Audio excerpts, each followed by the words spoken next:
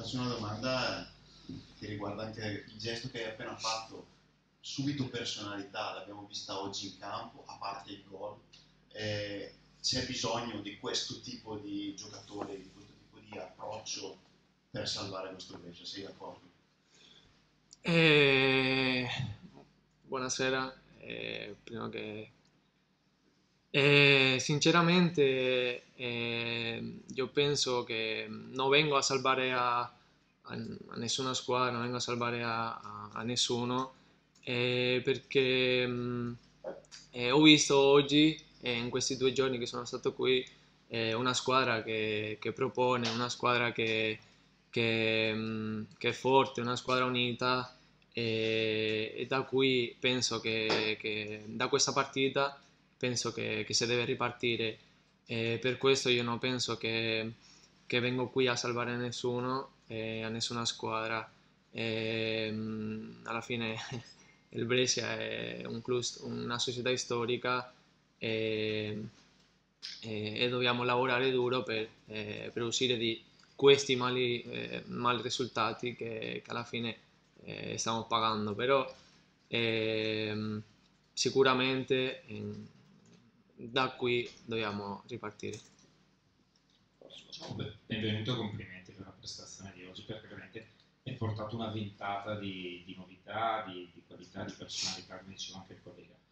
Tu sai che Eugenio Corini è uno di noi, nel senso che è bresciano, è colui che ha guardato il Brescia l'ultima volta in Serie A nel nel 2019, quando parla di te gli si illuminano gli occhi, perché lui ancora sostiene che non so come un giocatore così possa eh, giocare in Serie B o non trovare posto in una squadra addirittura importante, perché già dopo il primo anno tu a Lecce avevi anche offerte da, da squadre, o comunque sembrava che seguissero squadre importanti di, di Serie A.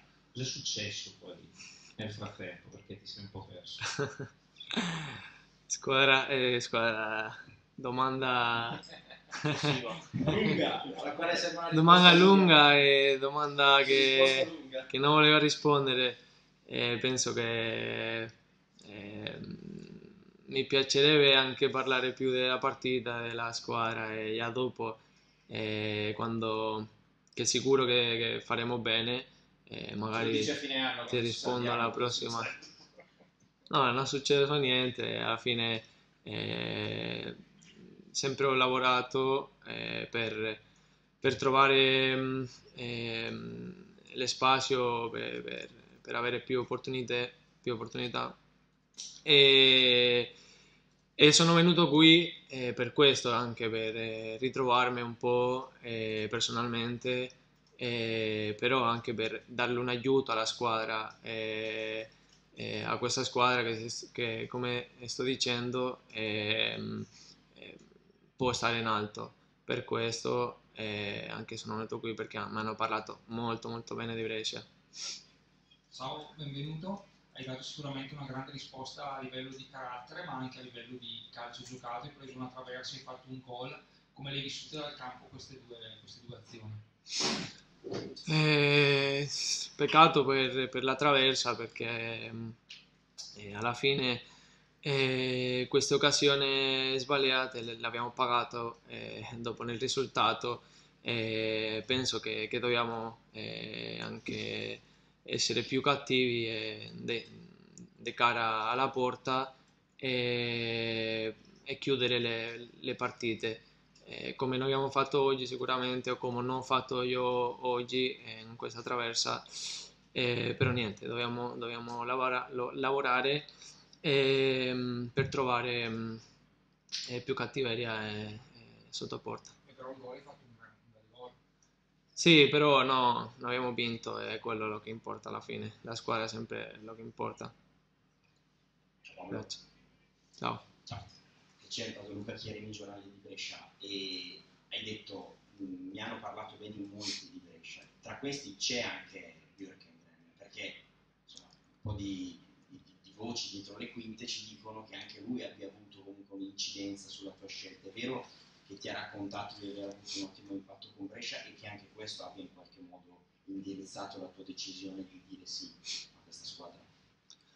Eh, sì, lui è anche arrivato prima e mi ha parlato anche molto, molto bene de, della squadra, de, della città, de, della società, però io anche ho chiesto due o tre cose solo de, che, che, alla fine quello che mi importava, che, che era alla fine il, il calcio, eh, eh, come stava la squadra e, e, e alla fine diciamo che, che, non me l'ho pensato tanto per venire qui eh, perché come stavo dicendo mi hanno detto due o tre cose che, che eh, ho dovuto venire subito perché anche mi avevano eh, mi volevano tanto e anche per questo sono venuto qui ultimissima ma di, di carattere tattico ti abbia visto giocare da seconda punta trequartista insomma molto fluida come, come interpretazione dove ti trovi meglio, immagino lì, ma all'occorrenza ti senti anche in grado di fare il riferimento unico, la ieri per dirti, cioè ti senti in grado di fare quel ruolo o non te lo senti tanto addosso? Io, come sempre dico, eh, eh, mi considero un giocatore di attacco. Eh, quello vuol dire gli assi a sinistra, eh, trequartista a sinistra, trequartista a destra, a sinistra a destra, eh, attaccante.